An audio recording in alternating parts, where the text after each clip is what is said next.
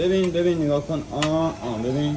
آ آ اینجوری آره کنده ببین نگاه کن نگاه کن نگاه کن. نمی‌تونی بهش دست بزنی. ببین اینا. خوش اومدی باجان آقا. ببین این زیر چی داریم جونم این همه جوجه و رنگ آیا چند تا جوجه است؟ زیاد نی 200 300 تا باجان 300 تا ماشاءالله. کره محلیش از گلوگا اومده. کره محلی. چقدر طول می‌کشم چقدر اینو پخته؟ 5 6 ساعتی بعد تو کره بمونه بشه جوجه و رنگ واقعی. وای بر من. باجان آقا نگاه کن. این الان 5 6 ساعت کار داره ولی می‌خوام بهت بگم ببین تو نیم ساعت چی شده. ببین ببین. اینجا رو ببین. چجوری جوری جلو بگیری همینه فرق نمی‌کنه. همه جاش پنبه است نگاه کن. جان آقا یه قرص ستایی بکشم. جانم چقدر خوبه اینا. میشه جان مشتری های عزیزم. محمد آقا استاد دیگه تو این کار. سلامت باشی. چند سال تو این کاری؟ نیم. یه عمره. سی سال آره.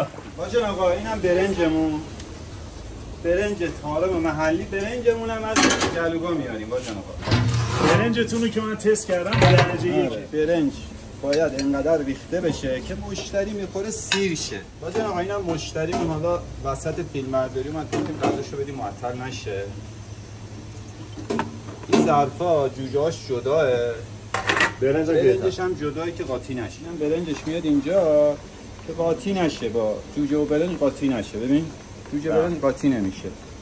الان زعفرونش هم می‌خوره و تمام. زعفرونمون هم از مشهد میاد. الان دو سه سال اینجاییم زعفرونمون رو یه بنده خدا از مشهد میاره. زعفرون 100 درصد خیالت مشتری اینجا رو ببین. جوجه و رنگا خوابیدن کنار برنج. دوستان سلام. امروز اومدیم جوجه و رنگ سعادت آباد. آدرسشون هم میشه سر به شرقی. بریم اینجا از اون جوجه کره پزای مشتیشون بزنیم. فلسفه این رو بنری چی بنا؟ این جوجه کره پس شده است. واسه همین این روبنا رو قدیمی ها میریختن روش می‌زدن بر بدن که بشوره ببره. جوجه و رنگ همه چی به به. تمومه. جوجه هاشم تو کل تهران. تک ببین یه جوری پخته. نگاه کن نگاه کن.